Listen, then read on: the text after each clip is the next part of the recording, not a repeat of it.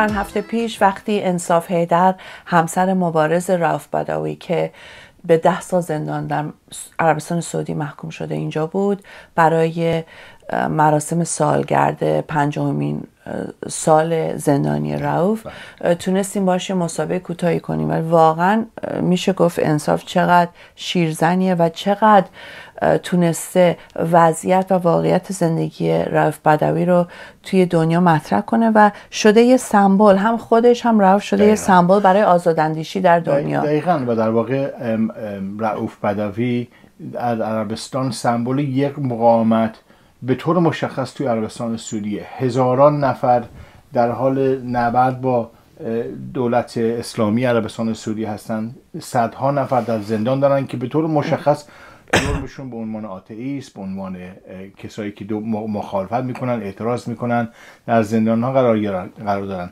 و در واقع رؤوف بدوی نماینده و سمبل این این مقاومت شده. یه نکته رو که به نظر من انصاف هیدر توی صحبتهایی که تو لندن مطرح می‌کرد خیلی جالبه. می‌گفت که حق بیان مسالمت آمیز عقاید و نظر انسان یه چیزیه که نمیشه روش تجارت کرد و باش مبادله کرد. غیر قابل مبادله است و حق پایی انسانه. این خیلی حرف مهمیه که خیلی از جوامع اسلام زده رو نمانده. و دقیقا هم به همین دلیل هم انقدر با شدت باش برخورد میشه از سوی دولت های اسلامی. به خاطر اینکه انقدر می‌تونه همه این توتالیترینیزمشون و سرکوبشون رو زیر سوال ببره. و میشه دید که رایف بدوی تنها نیست. خیلی کسایی هستن که الان دارن در عربستان سعودی مقاومت می‌کنن. تعدادی هستن مثل یه کسی هست مثل احمد الشمری که به اعدام محکوم شده به خاطر توهین به مقدسات. و خب می‌دونیم این یه چیزی که تو ایران هم صورت می‌گیره. سینا دهقان برای مثال که اونم اعدام می‌خوان اعدامش کنن به خاطر توهین به مقدسات و غیره. و یه واقعیت اینه که این یه حق پایه انسانه. دقیقا اینطوره. و چیزی که مهمه به نظر من اینه که این مقاومت خیلی سراسریه. تو تمام دنیا هست. ما باید از حق آزادی بیان و آزادی ابراز عقیده برای تغییر جامعه در تمام دنیا باید ازش پشتیبانی بکنیم. ما از روح بدوی که در واقع به ده سال زندان محکوم به ده سال زندان محکوم شده که الان پنج سالش گذشته.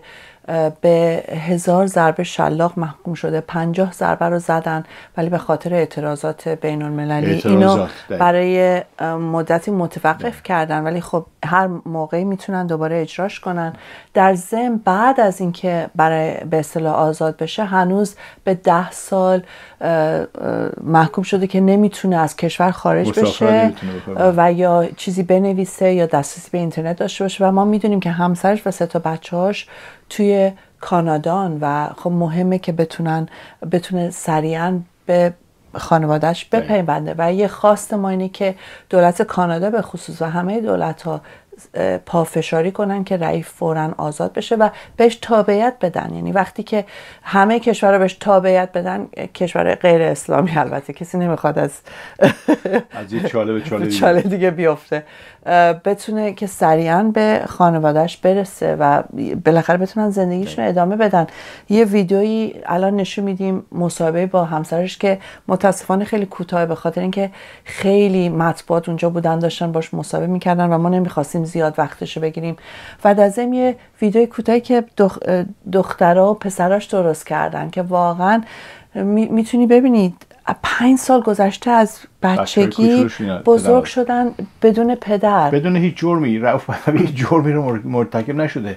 نظرش به, به شکل مسالمت آمیز بیان کرده. ابراز نظر حق گفتگو حق حرف زدن حق دادن نظر برای تغییر جامعه و تغییر زندگی یا حتی بیان آزاده هر نظری که ما باشه باشه حق پایی بشره همونطوری که انصاف گفت حالا این ویدیو رو با هم نگاه کنیم رو ببینیم با هم و برگردیم it's wonderful to uh, be able to finally meet you. حلو انه نحن نتعرف عليك اخيرا. شكر لك. Can I please Thank you. Can I uh, just tell you why are you here today? What are you um, uh, commemorating? I am here today in London. Uh, first reason is to is thanks to uh, the organization Reporters Without Borders and uh, and Pan English of course. They organized a trip for me.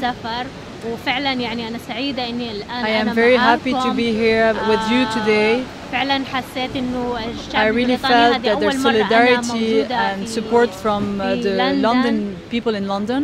لكن on فعلا رائف سعيدة انه حسيت انه في تضامن من الشعب في في اكثر من جهة The, the مهتمة support بقضية come from a رايف. lot of ألف شكر direction, لهم. not only specific individuals. So I'm really happy to see that. It's going to be five years Raif is in prison.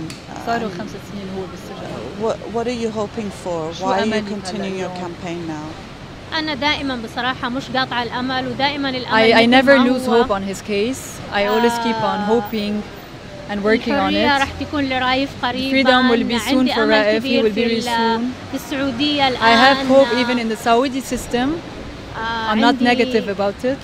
عندي امل آه، كمان عشان الشعب العالم كله متضامن معنا I have hope also كثير. because I see the solidarity at the international level. As, as I feel I'm not alone. العالم له آه، له مردود نفسي علينا وعلى The solidarity of the people, the كثير. international community is very necessary for us and it helps us a lot.